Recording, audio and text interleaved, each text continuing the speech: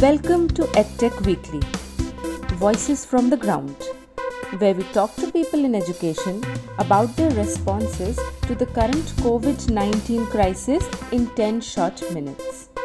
This podcast is a part of the Connected Open Online Learning Initiative of the Tata Institute of Social Sciences, Mumbai. Over to our host for today. I'm Saurabh Mohanty, your host for today's episode. Here we are going to talk with Mr. Yogesh Pandey, a mathematics teacher from Government High School, Bilaspur, Chhattisgarh. Welcome, sir. नमस्कार Saurabh Covid lockdown के दौरान हम सभी school नहीं जा पा रहे हैं शिक्षक होने के नाते कौन सी चीज़ आपको सबसे ज़्यादा परेशान कर रही है आ, दो तीन बातें हैं सौरभ इसमें जो बात परेशान कर रही है वो ये कि नाइन्थ की एग्ज़ाम नहीं हुई है जो बोर्ड से इतर जो क्लासेस हैं उनके एग्ज़ाम्स नहीं हुई हैं और जो जिन बोर्ड क्लासेस की एग्ज़ाम्स हो गई हैं उनका मूल्यांकन नहीं हुआ अभी तक। ये एक बात ये परेशान कर रही है बहुत ज़्यादा। इन इन बड़ी कक्षाओं में बच्चे जो होते हैं, वो वो मूल्यांकन, परीक्षा देना, फिर उसका मूल्यांकन होना, फिर उसका रिज़ल्ट आना, वो रिज़ल्ट आने की जो खुशी है ना, वो उसको मिस कर रहे होंगे। ऐसा मैं सोचता हूँ। दूसरी एक बात जो मुझे परेशान कर रही है, वो ये कि मोस्टली सरकारी विद्यालय जो है, वो गाँवों में ही होते हैं। और गाँव के बच्चों का जो रूटीन है, वो बहुत ज़्यादा फ़िज़िकल एक्टिविटीज़ वाला होता है। तो अभी जैसा मैं बच्चों से बात कर पा रहा हूँ, वो उनके माँ पिता उनको इस महामारी के डर से घर से बाहर ही नहीं निकलने दे रहे हैं। बहुत ज़्यादा हुआ तो दिन में एक आध बार, आधे घंटे के लिए चौक तक जाने देते हैं। तो ये फ़िज़िकल एक्टिविटीज़ का जो अभाव है, वो शायद उनको टीवी और मोबाइल और बहुत ज़्यादा गैजेट्स का आदि न बना दे ये भी एक डर है मेरे मन में। अपने छात्रों के लिए ऑनलाइन शिक्षा को अधिक सहज बनाने के लिए आप किस योजना पे काम कर रहे हैं? उस योजना के परिचालन में अगर कोई समस्या आ रही है तो उसके ऊपर कुछ बताना चाहेंगे? ये ये मेरे लिए एक समस्या नहीं है बल्कि ये भविष्य के शिक्षण का स्वरूप है। मतलब इन फ्यूचर मुझे लगता है कि बहुत सारी चीज़ें ये ऑनलाइन ही होने वाली कि ये सब डिजिटल हो रहा है और सब ऑनलाइन हो जाएगा। इसको समस्या नहीं मानता मैं। क्या कहते हैं कि मैं जो चाहता था वो मिल गया जैसी बात है। मैं सौरभ हमेशा से पिछले चौबीस सालों से जब भी स्कूलों में रहा हूँ मैं उन सभी स्कूलों में एक बात बहुत मिस करता था। वो ये कि उस पूरी एनर्जी के साथ पढ़ा दिया और फिर आप बस इस उम्मीद में घर लौट आते हैं कि हाँ बच्चे अब करेंगे। लेकिन आप जब वापस दूसरे दिन विद्यालय जाते हैं तो आप देखते हैं कि वो बहुत कम लोगों तक पहुँच पाई बात। जैसे हम स्कूल आते थे तो हम घर में हमारे मम्मी बाबा हमको बैकअप की तरह पढ़ाते थे या फॉलो करते थे हमारी स्कूल की पढ़ाई का। लेकिन वो वो अभी मैं गाँव के पेरेंट्स में वो अवेयरनेस नहीं देख पाया हूँ। तो मैं क्या सोचता था पता है सौरभ? मैं सोचता था कि ऐसा कोई तरीका मिल जाए जिससे मैं स्कूल के बाद भी इन बच्चों के साथ रह सकूँ।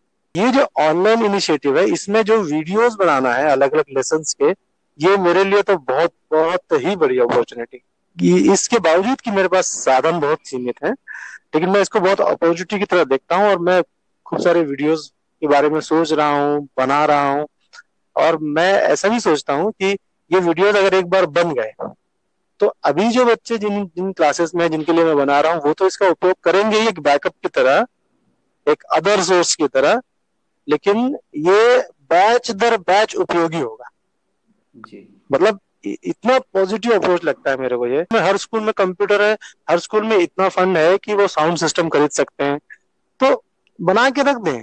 हम तो बना लें। हम जिस भी क्वालिटी का बना सकते हैं, बना दें। अभी लगभग सभी घरों में टीवी है, लगभग सभी घरों में कम से कम एक स्मार्टफ़ोन ये अगर कंटेंट बना के रख दिया आपने तो ठीक है इंटरनेट के इस्तेमाल से वो बच्चे डाउनलोड नहीं कर पाएँगे, या वो फ़ोन का बैकअप मेमोरी और वो सारे इश्यूज़ आ सकते हैं।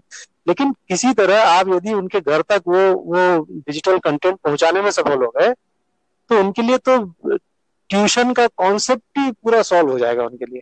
किसी पीडीएफ या किसी डॉक्यूमेंट मटेरियल के ऊपर इसको तरजीह देता हूँ कि ऑनलाइन टीचिंग में मतलब वर्चुअल टीचिंग थोड़ा सा वीडियोस का ज़्यादा इस्तेमाल होना चाहिए और मैं वो ही कर रहा हूँ। मैं तो लगातार वही सोचता रहता हूँ कि अब अगले लेसन के लिए क्या करना है कैसे इसको बहुत इंटरेक्टिव बना सकता हूँ कैसे क्या कह सकता हूँ कि बच्चे इसको सुनकर एकदम जवाब देने को प्रेरित हो जाए। पहली बार बहुत सारे शिक्षक ऑनलाइन लिखने पढ़ने की प्रक्रिया में शामिल हो रहे हैं। उनकी कैपेसिटी बिल्डिंग को लेके आपकी क्या राय है? ये डिजिटल चीज़ें जैसे कंप्यूटर्स हो गए मोबाइल हो गए इंटरनेट का यूज़ हो गया और मतलब एक यूट्यूब पर एक वीडियो देख लेना अलग मुद्दा है, लेकिन उस वीडियो का अपने शिक्षण में यूज़ करना एक अलग मुद्दा है। उसके लिए एक मिनिमम स्किल की ज़रूरत तो पड़ती ही है, या एक प्रैक्टिस की ज़रूरत पड़ती ही है। उसमें बहुत सारे हमारे साथी शिक्षक हैं, अक्षम महसूस कर सकते हैं और कर ही रहे होंगे। क्योंकि मैं जैसे अपने विद्यालय की बात ले लूँ, या अपने आसपास जितने शिक्षकों को मैं जानता हूँ, जिनसे मेरी बात हो रही है, उनको ही ले लूँ तो उनमें से बहुत सारे ये बोल रहे हैं कि ऑडियो रिकॉर्ड कैसे करते हैं। और ऑडियो रिकॉर्ड हो गया वीडियो रिकॉर्ड हो गया तो तो अब इसको पोस्ट कैसे करते हैं? इसमें बहुत सारी चीज़ें हमने गलत बोल दी इसको काटते कैसे हैं? मतलब समस्याएँ आ रही है। लेकिन इसमें भी एक पॉजिटिव बात यह है कि लोग कोशिश कर रहे हैं। हमारे डिपार्टमेंट से भी ये गुजारिश है कि इसके लिए एक ट्रेनिंग प्रोग्राम तो होना ही चाहिए। जिससे कम से कम मिनिमम स्किल्स तो हर टीचर के पास रहे। यदि ऐसा कोई मौका आ गया या हमने ऐसा कोई मतलब रेगुलर प्लान कर दिया कि आपको हर शनिवार को बच्चे को एक डिजिटली कुछ ऐसा कंटेंट बनाकर देना है, जिसका, जिसको वो संडे को उपयोग करेगा और मंडे को उसका रिस्पॉन्स करेगा। यदि ऐसा कोई रेगुलर प्रोग्राम बना दिया जाता है, मान लीजिए तो उतना तो कर पाए। और अभी की स्थिति में लोग पैनिक नहीं हो रहे कि अरे बाप रे, कितना कठिन है। इसलिए बताऊँ, क्योंकि जहाँ तक मेरी जानकारी है कि 2013 14 के बाद से खूब सारे शिक्षकों के पास स्मार्टफ़ोन है। हम्म, खूब सारे लोगों का सोशल मीडिया ग्रुप बना हुआ है। बहुत सारे लोग अलग अलग प्लेटफॉर्म्स में एक्टिव हैं। वहाँ लिख रहे हैं वहाँ रिस्पॉन्ड कर रहे हैं। तो उनको मतलब इतनी चीज़ें तो समझ नहीं लगे। पढ़ाने के लिए कोई कंटेंट डेवलप करना या उसका यूज़ करना फिर भी एक अलग तरह की दक्षता की मांग करता है। तो उसके लिए एक, एक प्रॉपर ट्रेनिंग तो होनी ही चाहिए। इस महामारी के बाद अगर कोई एक चीज़ जो आप पढ़ने लिखने की प्रक्रिया में बदलना चाहेंगे वो कौन सी चीज़ होगी और क्यों? एक्चुअली मैं कुछ बदलना नहीं चाहूँगा। मैं अपनी जो प्रोसेस है जो सही प्रोसेस है उसमें जोड़ना चाहूँगा एक चीज़। जिन शिक्षकों के बीच मैं रहा हूँ वहाँ से मेरे अंदर जो आ गया है एक स्वभाव मेरा व्यवहार जो मेरा बन गया है वो ऐसा है। उसी के बदौलत मैं क्या कर रहा हूँ कि मैं पूरे नॉलेज का सोर्स खुद को बना बैठा। कि मतलब मैंने यदि क्वाड्रेटिक इक्वेशन पढ़ाया स्कूल में, अब बच्चे बच्चे को नहीं समझ में आया तो उसको केवल एक ही व्यक्ति नज़र आता है और वो है मैं।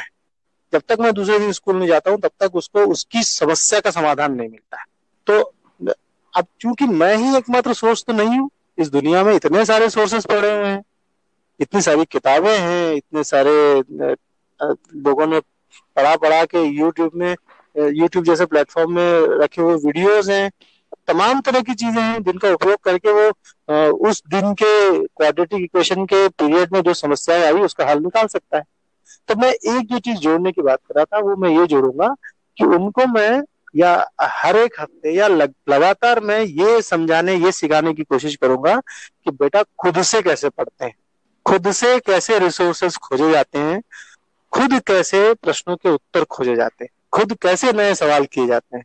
खुद कैसे नई समस्याओं का निर्माण किया जाता है?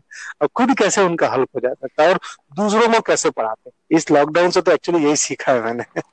Sir thank you so much thank you for tuning in we will be back with another episode next week this podcast is brought to you by the connected open online learning initiative of the Tata Institute of Social Sciences Mumbai